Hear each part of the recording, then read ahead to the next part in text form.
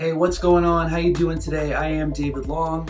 I am just coming today to share with you some clips from my video that I recently made about addressing integral integrity with Steve McIntosh. It's kind of a long video, so I decided to break it into some parts, into some clips, and share it with you. If you enjoy this, feel free to check out the full-length version right here. Enjoy.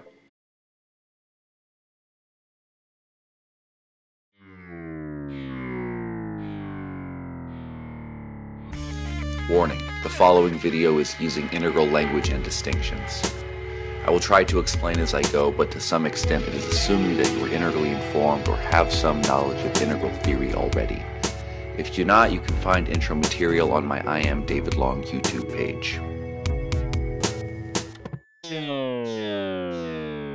Ultimate reality is an experience. It's not just cosmic speculation. It is legitimately possible to experience directly in a spiritual experience ultimate reality. And saints and sages down through the ages have glimpsed the ultimate and brought back reports of its character and, its nature and its quality. Yes, it's true that saints and sages have brought back stories from these amazing experiences that they've had. But what they have to say about the absolute is not only contradictory, but it's from a human limited perspective. God has not revealed himself to me. Even if he did, I'm not sure how I could be confident that it wasn't just some kind of delusion reinforced by my desires or my culture. Oh, trust me, you'd know. God revealed himself to me. Me too. Oh, really? Pleased to meet you. I have felt God in my heart. God speaks to me. I have a close personal relationship with God. Me too. Amen. You see, God isn't silent. He speaks to us all, right? We can't all be wrong. You just need to open the door when you hear God knock. We all have a close personal relationship with God, and you can too. Just accept Jesus Christ as your Lord and Savior. Whoa, whoa, whoa, hold on there. Jesus, peace be upon him, was a prophet, but he was not God. Yes, he is. The only way to be saved is through faith in Jesus Christ. Well, not faith alone. Faith without works is dead. Uh, not so fast. All of our righteous acts are like filthy rags to God. It doesn't matter. God loves us all. We will all go to heaven and see the truth then. You think even Hitler is going to heaven? Even Hitler. I'm sorry, but Hitler's gotta burn. Uh, not if you repented. Hitler's going to hell. You've all been blinded by Satan. Jesus visited the Indians and cursed black people. Say what? And I'm going to get my own planet after I die. Not if Xenu escapes his volcano prison. Say what? Oogly skoogul kootalulu labby dabby kaka slop. I believe I can straighten this all out. We Jews are the chosen people. Chosen for what? To steal other people's lands? That land was rightfully given to us by God. It was not! If God is speaking to all of you, then he appears to be telling all of you very different, contradictory things. Perhaps this rather glaring discrepancy can be explained if we examine the fact that your relationship with God seems to be precisely shaped by the culture in which you were raised and the predominant version of God you were taught to believe in. Sure, there are exceptions, but typically religion obeys borders, while truth does not. In America, God is Yahweh. While in India, God is Vishnu. The truth does not behave this way. In America, 2 plus 2 is 4, and in India, 2 plus 2 also equals 4. If God's message to us was so dire, so vitally important, then why wouldn't He give it to us in such a clear and precise way, rather than trusting His precious message to be spread by fallible, corruptible human beings? Why would Almighty God allow the continuation of such widespread falsehoods in His name, which would be effortless for Him to correct, or never even need to correct in the first place, because a perfect being would have gotten it right from the very beginning? On one side, on our interiors, we have our subjective experience. And on, on the other side, there's objective reality. And in the middle, there's a, a, relative filter of culturally constructed meanings, values, and symbols. We have our subjective experience, and everything that we know has been communicated to us by some person in the objective reality. So we get coming this way sense information. You see things, you hear things, that's all sense information.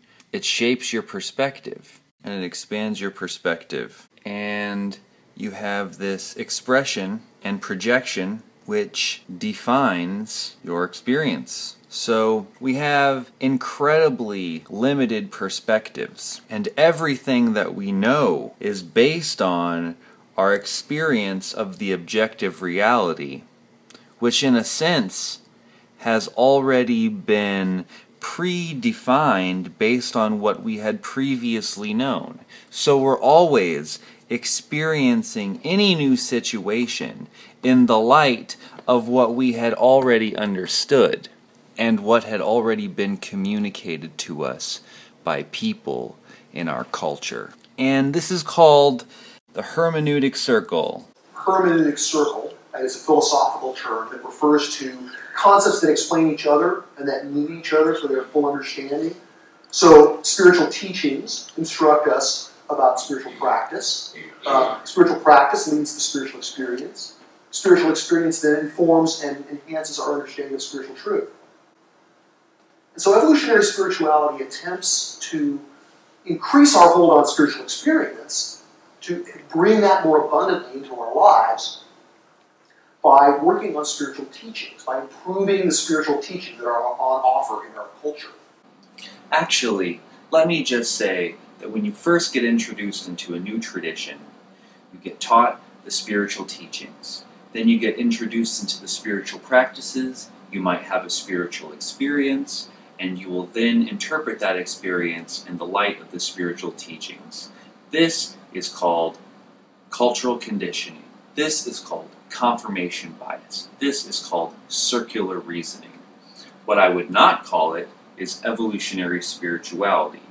It's the same kind of trap that tons of pre rational people get trapped in.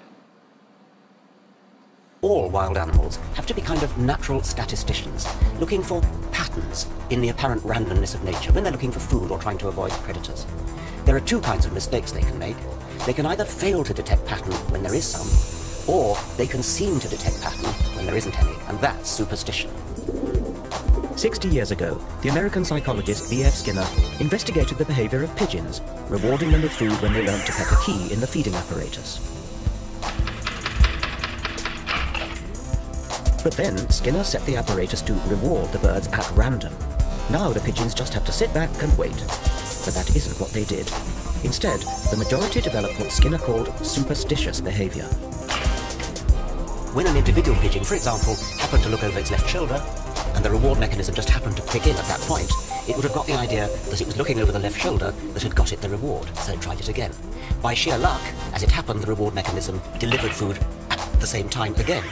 And so the pigeon was reinforced in its idea that looking over the left shoulder was what got it the reward. And it went on and on and turned into a maniac for looking over the left shoulder. When it comes to the absolute, the way to know it is not going to be through some subjective experience. Any understanding of an experience that you have, any words that you could say about an experience of the absolute, is absolutely wrong.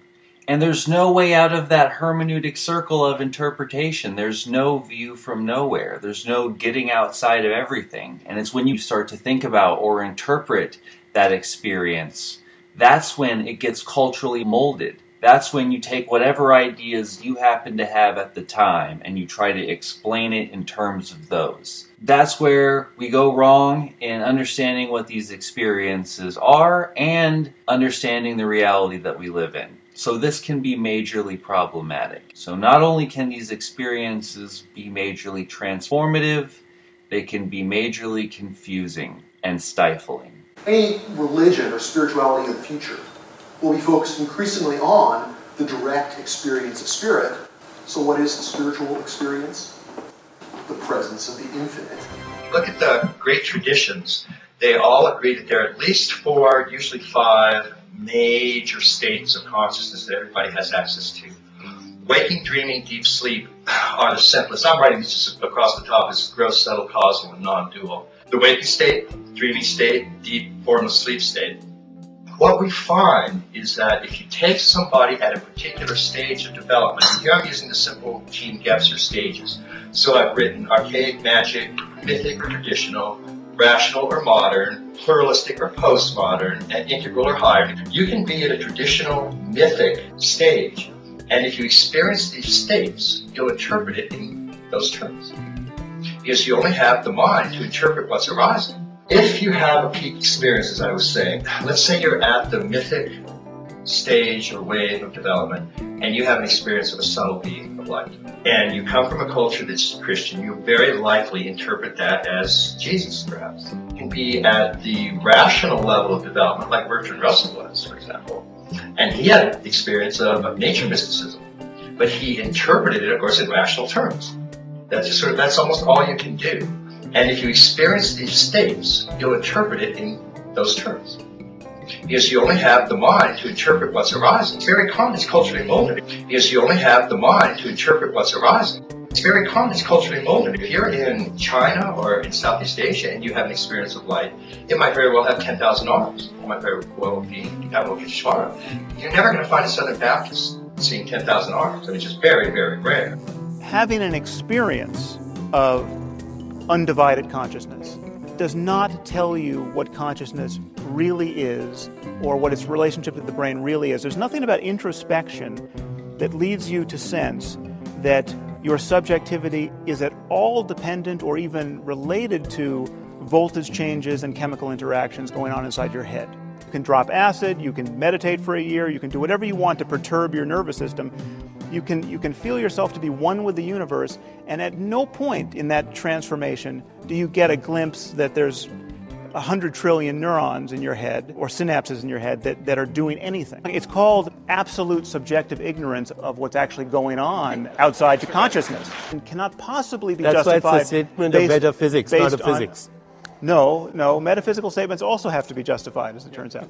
Metaphysics statements come from subjective experiences. No, metaphysical statements also have to be justified, as it turns out. Okay, now let's check out this graph. This has to do with what counts as evidence. For example, a lot of religious people will say that their religious experiences are good evidence of God or some truth about the cosmos. So in the upper left, you have someone's intention, their consciousness, known by their felt experience. Now you may know what you felt, and that is a type of fact, as we've already said. But let's say if you're doing meditation or something, no amount of looking at the inside of your mind is going to be able to tell you truths about the external reality. If you go to the upper right, you have behavior, objective realities of all beings at all levels of organization, and it's known by measurement. Or this could just be tangible facts. One plus one is two. That's how you know objective things. In the lower left, it says it's culture, known by mutual resonance, intersubjective realities of all beings. So, how do we know what people feel or what the meaning of something is? We ask a bunch of people, and that's a type of truth too. It's not the whole truth, it's a type of relative cultural meaning of truth. Then in the lower right, you have systems theory, known by systemic analysis, interobjective realities of all beings at all levels of intersection. So, for example, the kinds of reasons that you have for idealistic metaphysical claims are going to be based on upper left quadrant felt experiences and through lower left traditional dogma and indoctrination, cultural conditioning. The way that we know that consciousness is a byproduct of matter is known by systemic analysis. So, in a sense, you have idealism making claims about the ultimate truth of reality based on cultural meanings and felt experiences, and you have materialism, which is known through objective measurement and systemic analysis. I would tell you, idealism is qualifying the unqualifiable, making claims about things that are beyond anyone's ability to make claims about. Whereas, to some extent, materialism is a relative fact. It doesn't get at the ultimate truth of everything, and it can't be reduced to mere empiricism, but we can know, based on the cosmology that we already have, that consciousness is a byproduct of matter, not the source of matter. So, depending on what kind of claim you're making, you have to look at the relative quadrant to get the data. So, for example, taking a vote is not a way to get at the objective truth. Looking at your still mind is not a way to know the truth about cosmology. And measuring someone's brainwaves is not a good way to know what their felt experience is like. So, all of these disciplines have to be qualified in their own quadrants. But these saints and sages differ widely about their, there's not clear agreement about what is ultimate, even among the most advanced forms of spirituality. But of course, different spiritual traditions take this idea of spiritual infinity in different directions, right? So like Buddhism recognizes non-duality as infinite in its own way. Christianity recognizes God as infinite. So the nice thing about the conceiving of spirit as a, as a, as a sort of a base mark is that it, it's, it's agreeable um, while still being uh, descriptive. Uh, Alfred North Whitehead or Sri Aurobindo in the 20th century uh, were big proponents of the central significance of these values or these concepts on the spiritual path. So he's basically advocating for mishmashing together all kinds of idealistic worldviews that are completely different under the heading of spirit, squishing things together that don't go together just by using the same word like spirit or God or something like that. People like Whitehead and Aurobindo and Chardin, all idealists and dualists in terms of cosmology and metaphysics, but none of these people agree about what spirit is in terms of the details. This is more of this green false attempts at consensus and bad integration, pre trans confusion.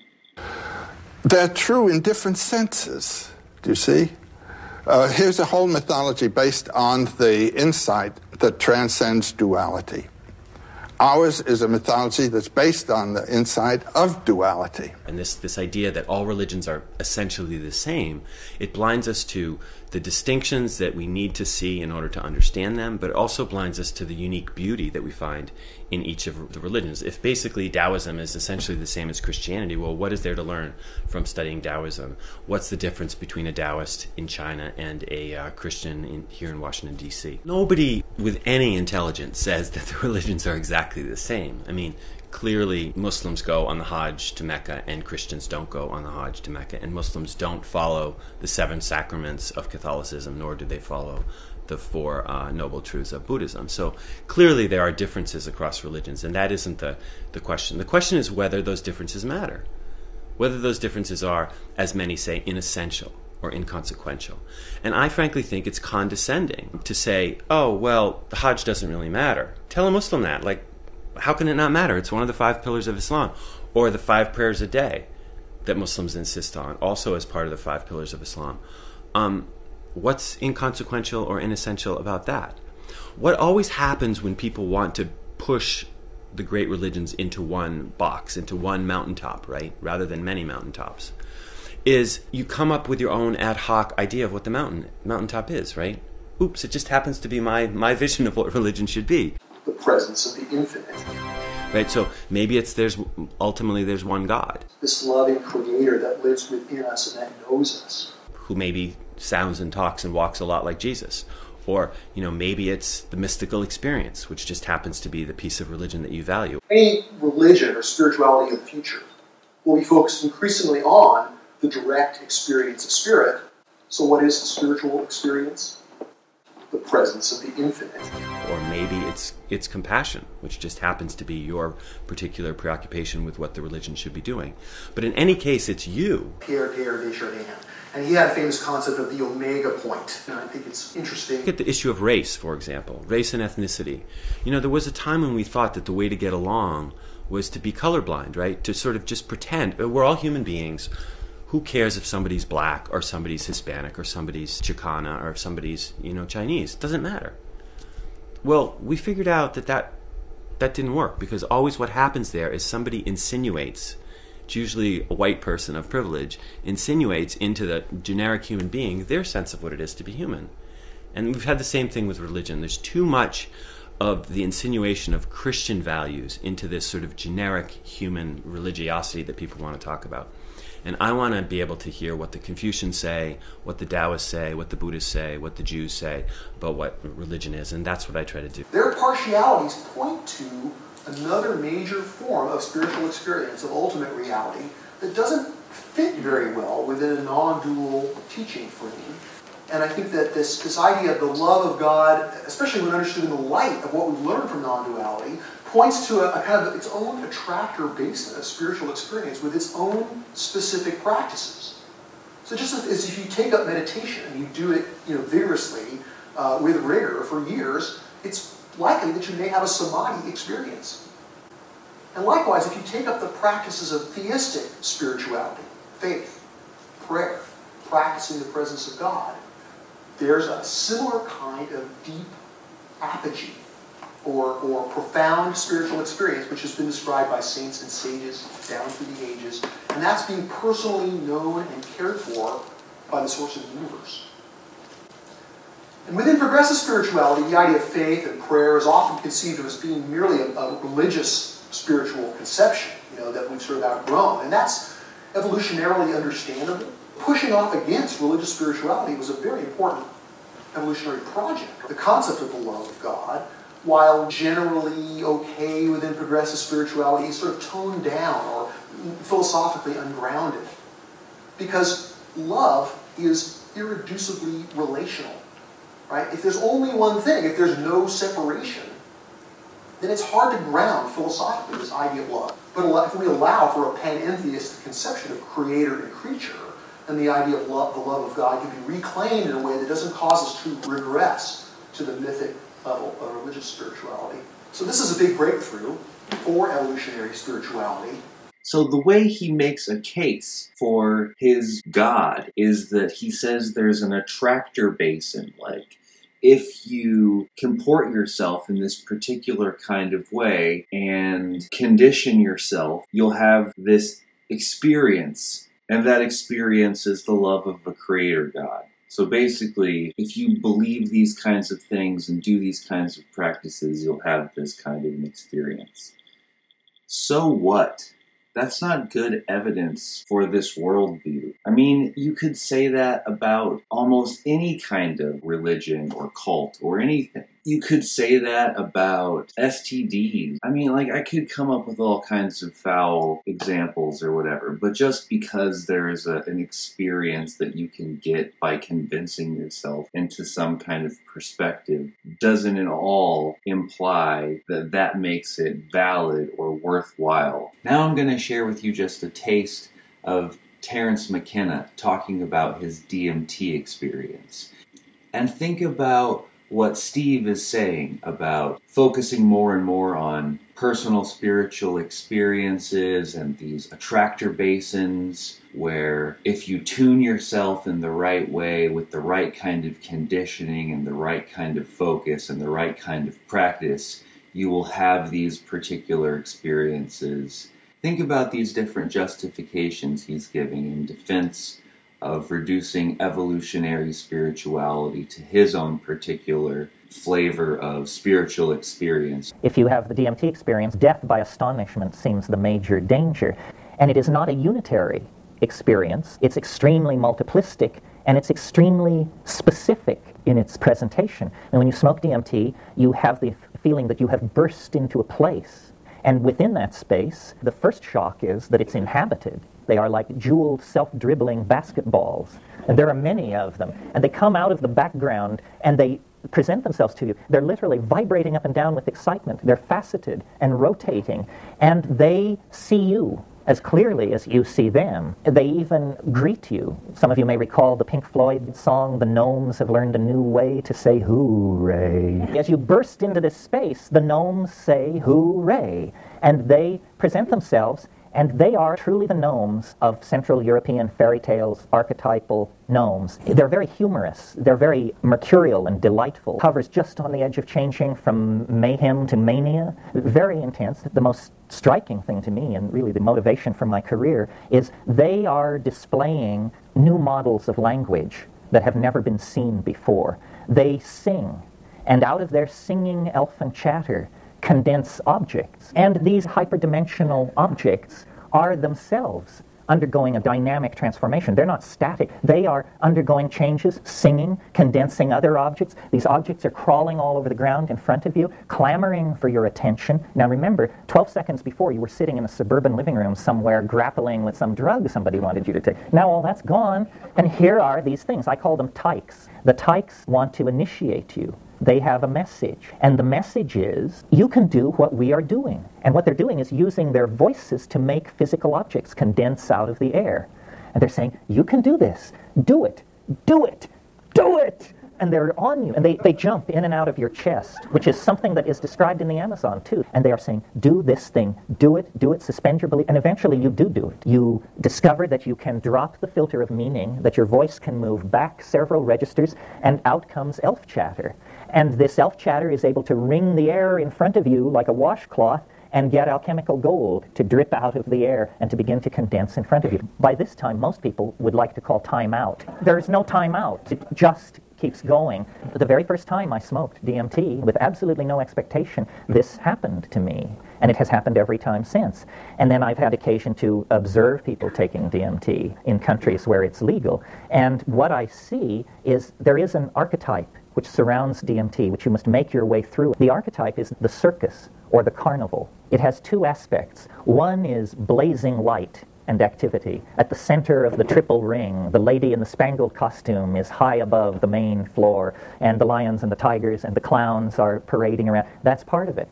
But it has another aspect. Just off to the side of the big tent, there are the sideshows the hoochie coochie dancers, the two headed man, and so forth and so on. In other words, there's this kinky, peculiar shadow side of it. When you finally come into the center of it, these are all seen to be veils. If you have the DMT experience on the way to the center of that flash, you'll probably have all the other ones. Uh, it seems to lie at the center of the mandala. It veils itself that way because it's the old candy to the baby routine. It treats us as people who would like to go to the circus. And then it takes us to the circus. But then there is a revelation beyond that. I don't know how many people present in this room have confronted the thing I'm talking about. I always, at this moment, am aware that some people are saying, My, doesn't he perfectly get it? And other people are saying, Huh? What is this? What is this guy talking about? The point I want to make is it's real. It's not vague. You don't have to strain for it. Nobody wonders whether or not it happened to them. It's just like somebody walking up to you and taking you by the arm and saying, There's something I insist on showing you. Come this way, please. It was the presence of the entities that shattered the person who I was. I had no room for elves in my cosmology. And here they were, hundreds of them. So, is that what we want to say that evolutionary spirituality is? Why not? If we're going by the standards that Steve has laid out, then this very well could be an example of evolutionary spirituality. For my taste, I prefer this to what Steve is talking about. The presence of the entities. The presence of the infinite. The presence of the entities. The presence of the infinite. Think about what it might be like to try to have to incorporate every experience that might have some kind of an attractor basin around it. There's an interdependent polarity in these two major attractor bases of spiritual experience. And this can be understood as non dual oneness and the love of God. Within progressive spirituality, the pluralistic impulses want to say that they're the same thing, or they're just different paths to the top of the same mountain. And that's admirable. It's good to welcome everything and be pluralistically open and include. That's a good impulse.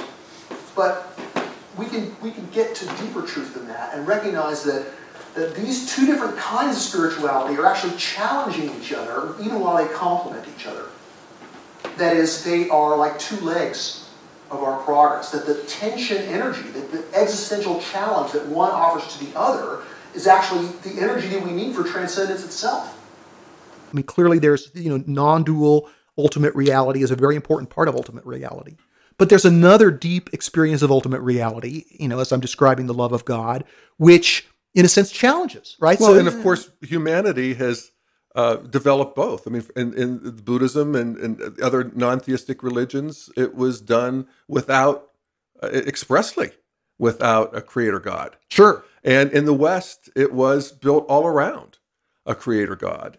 That itself, to me, as you know, as citizen of the world, argues that there's got to be some truth to both. That's a really simplistic view of religion. There are a ton of different religions and a ton of different inflections and a ton of different versions. And just because it exists, there's some truth to it, is kind of a dangerous perspective.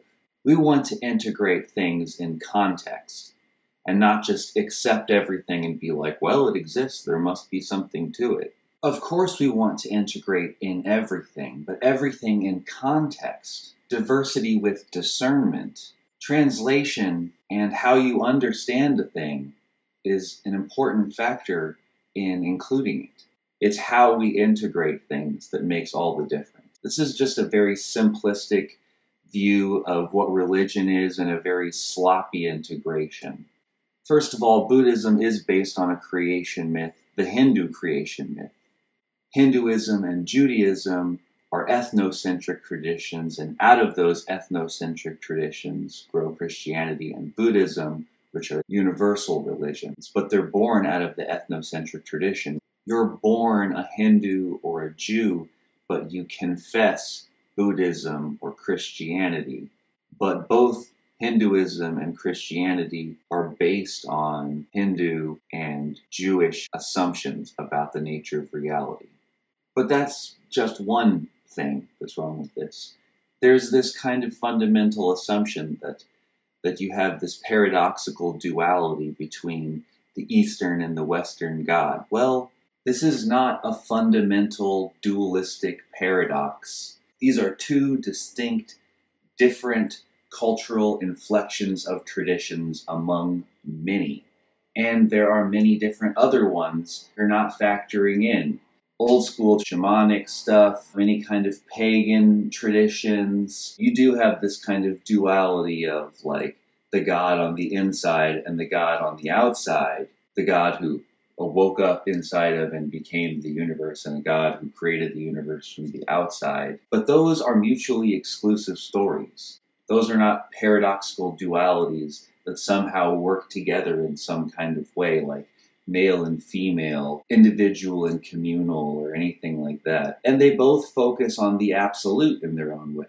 Whereas the more pagan traditions tend to be more this worldly. So the Eastern and Western religions are both idealistic, and I can see why you can maybe find some common ground in spirit. But there are also these other traditions that need to be skillfully included and integrated.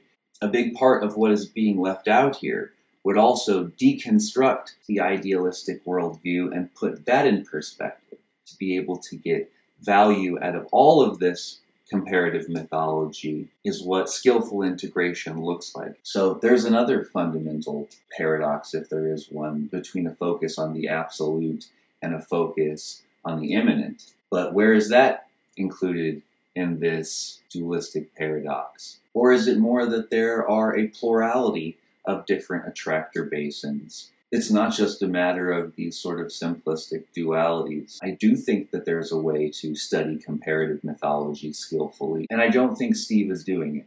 I think he's taking one story literally and arguing for its inclusion.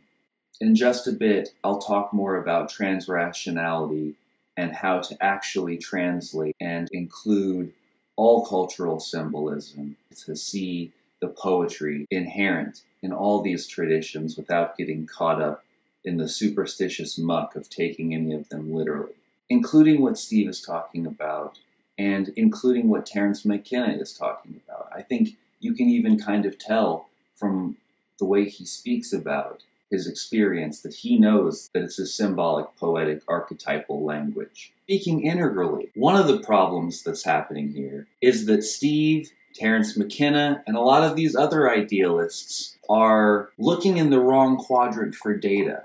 They are looking in their upper left personal, subjective, interior, imaginative consciousness and then drawing conclusions about the exterior truth of the nature of reality. They're looking in the wrong quadrant for data. That's not how we do it. That's a major problem in methodology. I notice as I'm hearing you talk that there's a little thrill sensation arising in my body and in my psyche because to see this values gravity uh, towards goodness, truth, and beauty just built into the system, and to see how it's been unfolding not only in the culture at large, but also in my own life and in history and in the whole history of the cosmos. It's starting to feel like there's not only an intelligence behind it, but also a love. Or there's also a, a loving intelligence or a personality at work here. And I wonder how this view can actually provide the basis of a deep spiritual life and practice that is post postmodern, is post mythic, where the scientific truth of evolution can be the basis for a, an authentic spiritual path. Yes, indeed. I mean, and I thanks for bringing that up. So we're like the portal that brings the infinite through into the finite. Human consciousness, because of its recognition of these elements of infinity, you know, the beauty, the true, and the good, as they as that light shines into the phenomenal world, the finite world, we see it as these values. And as our consciousness evolves, as the, the opening widens, we are able to see presence of the infinite with, with increasing depth and clarity. And this, in a sense, is sort of the new, the new truth of evolutionary spirituality that's revealed by our understanding of evolution itself. Wow. So cool. Yeah. Thanks for watching. You can check out the full length video right here. And here's the next part if you're interested as well.